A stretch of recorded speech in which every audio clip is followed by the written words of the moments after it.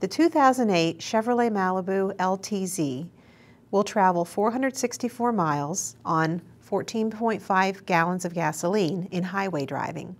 What is the rate in miles per gallon? Now, when you're given, you're asked for the rate in miles per gallon. That's a clue to help you find the rate. Miles per gallon tells us we put miles in the numerator and gallons in the denominator. We're given 464 miles that goes in the numerator. Per gallon means we put the gallons in the denominator.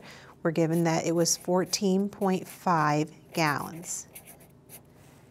Now we can separate this to see that we have indeed a rate of miles per gallon. We have 464 over 14.5 and then that's miles per gallon.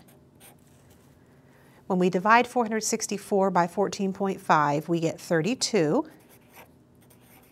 And we can write miles per gallon like this, but typically for um, this particular rate, this is abbreviated as miles per gallon.